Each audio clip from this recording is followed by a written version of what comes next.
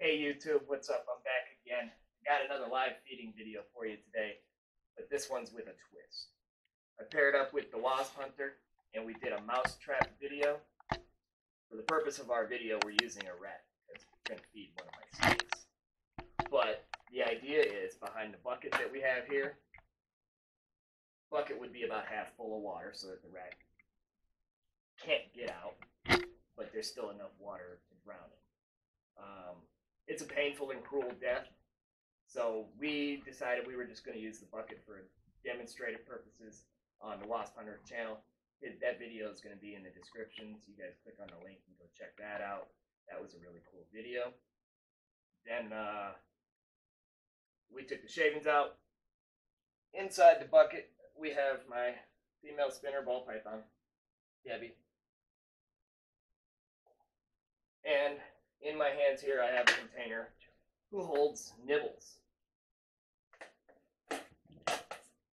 Nibbles is our rat. And for the purpose of the trap, there would be a ramp on the bucket leading up to this plank. All right. So we're going to come down here. Rat's tweaking out right now. We would have the oh, ramp. The rat would walk up the ramp, fall, get onto this plank.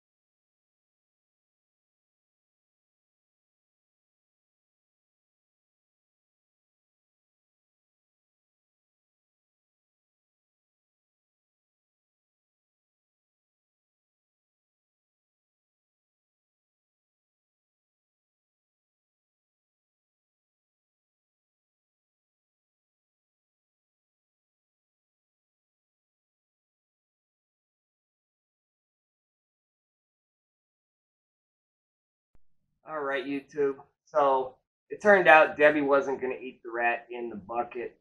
So I brought Debbie and the rat back home and uh, put Debbie back in her own house. Debbie snatched the rat right up. The rat lived a fulfilling life. He was educational and then fed one of my reptiles. So if you liked what you saw, make sure you smash that like button and hit the red subscribe button right down below. And we'll see you next time.